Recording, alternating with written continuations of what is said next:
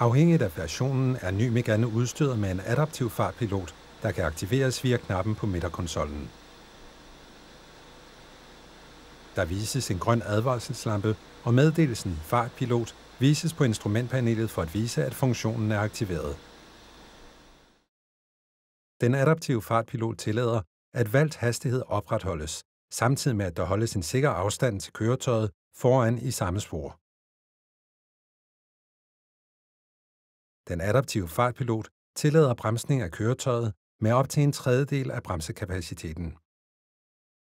Afhængigt af situationen er det muligt, at føreren skal bremse hårdere.